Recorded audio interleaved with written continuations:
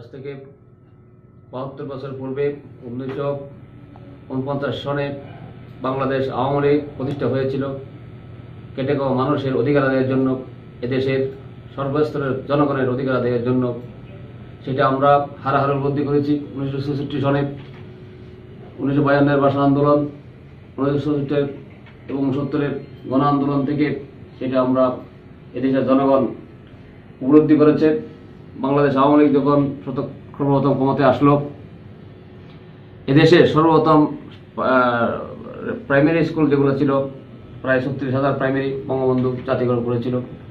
তা আজকের এই প্রতিষ্ঠা বার্ষিকীতে আমাদের একটা চাওয়া, একটা পাওয়া, বাংলাদেশের সকলের ভাগ্যের পরিবর্তন হয়েছে, সকল শিক্ষক সেক্টরের ভাগ্যের পরিবর্তন হয়েছে। বিশেষ করে বাংলাদেশের স্বতন্ত্র একটাই মাদ্রাসা যেগুলো, সেগুলো এখনও পর্যন্ত তাদের ভাগ্য পরিবর্তন হয়নি।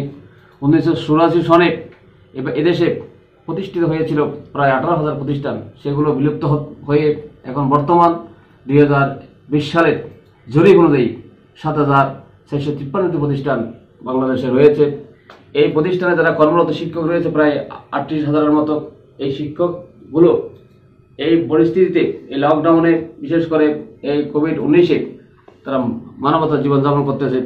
এই পরিস্থিতি অনুধাবন করে মাননীয় প্রধানমন্ত্রী জননেত্রী শেখ হাসিনা প্রত্যেক শিক্ষককে মাথা পিছু পাঁচ হাজার টাকা করে প্রথমবার দিয়েছিল এবং গতকাল দ্বিতীয়বারের মতো দ্বিতীয় কিস্তিতে আবার পাঁচ হাজার টাকা করে অনুদান দিয়ে দিয়েছে। এই জন্য মাননীয় প্রধানমন্ত্রীকে আমরা অভিনন্দন জানাচ্ছি আমাদের সংগঠনের পক্ষ থেকে। তা আজকে আসলে বঙ্গবন্ধু যদি বেঁচে থাকতো, তাহলে আমরা আমাদের এই আমার যেভাবে আমরা যে পরিস্থিতি আমরা বিলাপ করতেছি, যে কষ্টে, এই কষ্ট আমাদের করতে হতো অনেক আগেই স্বতন্ত্র জাতিগণ হয়ে যেত। তা আমরা দুই হাজার একবিশ এবং দুই হাজার একুশ বাইশ অর্থ বছরে আমরা মানে প্রধানমন্ত্রী বরাবর আবেদন করেছি শিক্ষামন্ত্রী বরাবর আবেদন করেছি। আশা করি তারা আমলে নেবেন। এবং আমাদের যে বাজেটে আমাদের যে অতিরিক্ত টাকা রাখা হয়েছে, নশো আট কোটি টাকা, সেখান থেকে পাঁচশো কোটি টাকা বরাদ্দ দিয়ে আমাদের এই শিক্ষকগুলো, যে অসহায় শিক্ষকগুলো, মজলুম শিক্ষকগুলো, যে দীর্ঘ সাঁত্রিশ বছর এমপি বঞ্চিত শিক্ষকগুলো যাতে এমপি মুক্ত হতে পারে এমপি মুক্ত যাতে হয় এবং যে করে আমি আশা করি এটা করবেন। মানে শিক্ষামন্ত্রী বিবেচনা করবেন। মানে প্রধানমন্ত্রী মানবতার মা, তিনিও বিবেচনা করবেন।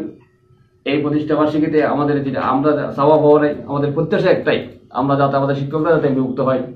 আমি সেই প্রত্যাশা রাখি এবং আওয়ামী লীগ এমন একটি সংগঠন, এই সংগঠন এদেশে ছিল, আছে, থাকবে। জনগণের পাশে জনগণের হ্যাকমত করে যাবে।